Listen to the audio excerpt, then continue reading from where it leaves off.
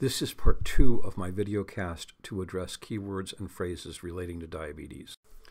These are the keywords related to diabetes from multiple years of ITE reports. The phrases that are crossed out were addressed in part one. The phrase in red, diabetes and stiff joint syndrome, was a new item in 2017. The first issue is autonomic neuropathy. Autonomic neuropathy has a multitude of manifestations. It may be worthwhile to pause the presentation here to review this slide in greater detail. My discussion will focus primarily on the cardiovascular manifestations associated with autonomic neuropathy. Symptomatic autonomic neuropathy occurs in only about 5% of patients with diabetes. Resting tachycardia and loss of heart rate variability during sleep are some of the earliest signs. Both systolic and diastolic dysfunction are associated with autonomic neuropathy. Baroreceptor function is compromised in the presence of autonomic neuropathy. This occurs due to damaged vasoconstrictor fibers and ineffective cardiovascular reactivity. Orthostatic changes in blood pressure and heart rate are another indicator of cardiovascular autonomic neuropathy. Also, failure of heart rate to respond to exercise is indicative of significant cardiac denervation and is probably associated with, in, with decreased exercise tolerance. Finally, autonomic neuropathy is associated with dysrhythmias that may be responsible for sudden death. Although they aren't cardiovascular manifestations, it's interesting to note that both oxygen and carbon dioxide response curves are altered in the presence of autonomic neuropathy. This may have ramifications in attempting to reestablish spontaneous ventilation at the end of a general anesthetic and postoperative respiratory depression, especially following the administration of opioids in the PACU or on the floor.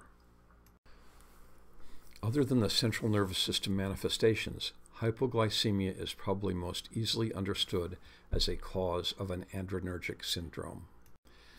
This slide correlates the manifestations of hypoglycemia with specific blood glucose levels. Again, it may be worthwhile pausing the presentation here to review the slide in more detail. Note that the values for blood glucose are in millimoles per liter.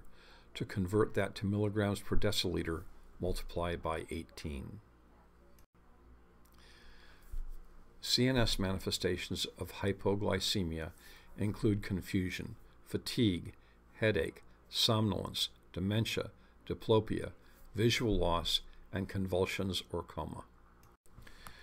Cardiovascular manifestations include tachycardia, palpitations, increased myocardial contractility, increased myocardial work, and vasodilation. Increased myocardial work may lead to ST segment depression. ECG manifestations include ventricular tachycardia, atrial fibrillation, prolongation of the QT interval, corrected QT interval, flattened T waves, and ST segment depression. Hypoglycemia can also result in increased factor VII, platelet activation, and neutrophil activation. Increased oxygen consumption and diaphoresis are common manifestations of hypoglycemia. The next key phrase relates to glucagon and hypoglycemia. Severe hypoglycemia is defined as an episode that the patient cannot manage alone, that is, an episode where someone else needs to intervene. This graph shows that patients with type 1 diabetes average approximately one severe hypoglycemic episode per year. Although apparently less common, severe hypoglycemia is still a problem for patients with type 2 diabetes. This graph demonstrates the efficacy of both IM and IV glucagon in treating hypoglycemia. Note that the glucagon is administered at time zero. It is obviously effective very shortly after administration, whether given IM, IV, or sub-Q, so it's a reasonable approach for a patient with severe hypoglycemia who does not have vascular access. Recognize that glucagon has effects other than simply increasing the patient's blood glucose. A patient with coronary artery disease might not tolerate the increase in myocardial oxygen demand that occurs as a result of the increase in heart rate and contractility following glucagon administration. Although metformin is associated with the development of metabolic acidosis, this is generally associated with toxicity due to increased blood levels of the drug or concomitant administration of other specific agents. Metformin has had a resurgence in popularity based on a series of studies documenting its efficacy in reducing all cause mortality, such as this one from 2010. The same effects were observed in patients with a history of heart failure or reduced creatinine clearance, factors that had been considered classic contraindications to metformin. Metformin, a biguanide, is associated with an increased risk of lactic acidosis it decreases hepatic gluconeogenesis and increases utilization of glucose by skeletal muscle and fat. Hypoglycemia may occur, but not as frequently as with other classes of oral hypoglycemic agents. Note that it relies completely on renal clearance. As would be expected, renal failure is a significant risk factor for the development of toxicity, that is, for the development of lactic acidosis. Most experts consider that a creatinine clearance of less than 60 milliliters per minute constitutes a threshold for the increased risk of lactic acidosis. Other risk factors include severe heart failure, generally defined as an ejection fraction of less than 30%, the administration of iodinated contrast agents, which are no longer used to any degree, and other factors associated with compromised renal function, such as dehydration and fasting. Concurrent administration of medications such as ACE inhibitors, sartans, diuretics, and NSAIDs are also reported to increase the risk of toxicity. Some studies, such as this one from 2007 on patients undergoing cardiac surgery, demonstrated no difference in the incidence of metabolic acidosis in patients with type 2 diabetes receiving metformin less than 24 hours pre op compared to patients receiving other oral hypoglycemic agents. The best predictor of postoperative renal function is preoperative renal function. That's as true for patients with diabetes as any other patient population. Diabetes accounts for over 40% of patients with renal failure. One thing to keep in mind is that the risk of severe hypoglycemia increases with decreasing renal function. This slide shows the natural history of renal disease in the presence of type 2 diabetes. In most patients, microalbuminuria is present at the time of diagnosis. Even with reasonable management, frank proteinuria and increasing serum creatinine levels are evident about 12 years after diagnosis. End stage renal disease begins to appear about 15 years after diagnosis. Diabetic nephropathy is characterized by persistent albuminuria, usually defined as greater than 300 milligrams per day, that is present on at least two occasions separated by three to six months. Progressive decline in glomerular filtration rate, and elevated blood pressure. It occurs with both type 1 and type 2 diabetes, and evidence suggests that effective treatment of diabetes delays or prevents the development of diabetic nephropathy. This slide shows the most prominent nephrotoxic agents and where they have their effect. For our purposes, the primary agents of concern are antibiotics, specifically aminoglycosides, vancomycin, and cephalosporins, iodinated radiocontrast agents, which, as stated previously, are rarely, if ever, used anymore, and nonsteroidal anti inflammatory drugs. Chemotherapeutic agents, especially cisplatin, methotrexate, and nitrosoureas, are not ones we administer but have a significant impact on renal function. With the exception of methoxyflurane, which is no longer used, metabolism of volatile anesthetic agents to inorganic fluoride is not a problem with regard to renal function. In patients with diabetes, hypovolemia is a risk factor for the development of renal failure.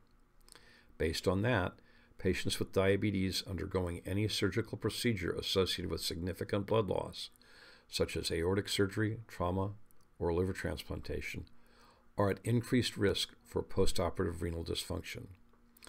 Essentially, no intra-op interventions other than maintenance of normal volemia and avoidance of nephrotoxic agents reduce the risk.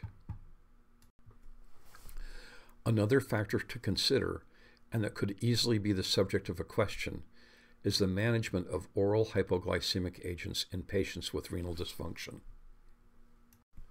I apologize for this busy slide, but it does provide a cohesive summary. On the horizontal axis is glomerular filtration rate divided into ranges. On the vertical axis is a list of drugs or categories of drugs. For each drug, there is an area of GFR for which the drug is considered safe, indicated by the dark gray areas. Some drugs are not recommended at all below a certain GFR, as indicated by the lighter gray.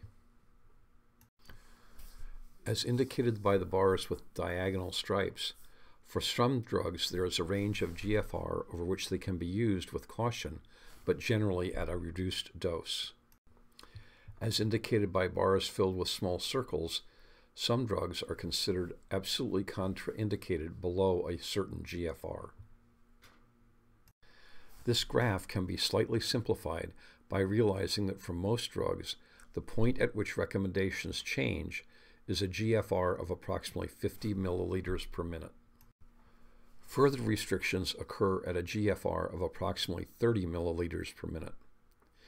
These generalizations aren't precise, but they are probably close enough to be able to answer a question on the test. It is also potentially important to remember that dosing recommendations for only one drug do not change as renal function deteriorates. Diabetic peripheral neuropathy is present in 10 to 20 percent of patients with diabetes. It typically has an insidious onset and is worse at night. By definition, symptoms are primarily peripheral in distribution, and they are most commonly symmetrical. Diabetic neuropathy is generally attributed to disease in the vessels supplying the nerves and affects both myelinated and demyelinated fibers. The diagnosis of diabetic peripheral neuropathy should be made based on the history and physical exam, specifically assessment of vibration, pinprick, touch, and proprioception. Motor nerve conduction studies may be abnormal in a small subset of patients with large fiber neuropathies, but are not recommended for diagnosis or follow up in the majority of patients with diabetic peripheral neuropathy. Stiff joint syndrome is also termed diabetic scleroderma, chiroarthropathy, or diabetic stiff hands syndrome.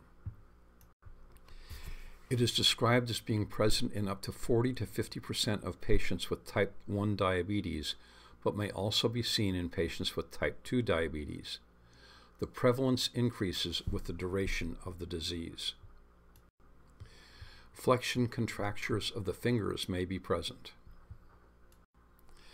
Screening for stiff joint syndrome is done by looking for the prayer sign.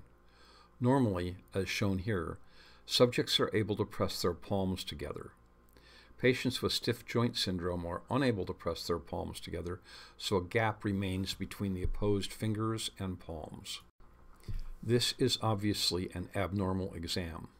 The abnormality is described as being due to sclerosis of tendon sheaths and limited joint range of motion, in addition to the previously mentioned flexion contractures of fingers. Some improvement in joint mobility over time may be achieved with tight glycemic control. Another screening test is termed the palm print sign. Ink is applied to the hands of a patient who is then instructed to press his or her hands onto a piece of paper on a table. In grade 1, all phalangeal areas are visible. In grade 2, you cannot see the interphalangeal areas of the fourth and fifth fingers. In grade 3, You cannot see the interphalangeal areas of the second to fifth fingers, and in grade 4, only the fingertips are seen. Diabetic stiff joint syndrome is important because there is reported to be an association between that manifestation and difficult intubation. Up to one third of patients with long standing type 1 diabetes are reported to present some degree of difficulty on laryngoscopy. This is generally attributed to limited mobility, most commonly of small joints, due to deposition of glycosylated collagen in the joints. There is reported to be an association between difficult intubation and a positive prayer sign. Other factors predisposing to difficult intubation include limited atlanto-occipital joint mobility and something called scleroderma of diabetes, which constitutes woody, non-pitting edema of the posterior neck and upper back. In a single study of 60 patients with diabetes, the palm print sign was described as being 77% sensitive and 89% specific in predicting difficult intubation. None of the other tests evaluated, including the prayer sign, modified Mallampati exam, or measurement of thyroid mental distance or assessment of neck extension, was as effective in predicting difficult intubation. This concludes part two of my podcast on diabetes. Good luck on the exams.